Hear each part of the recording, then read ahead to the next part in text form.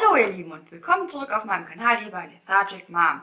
In diesem Video wollte ich euch gerne mal zeigen, wie ich mein tägliches Make-up mache nach dem Intro.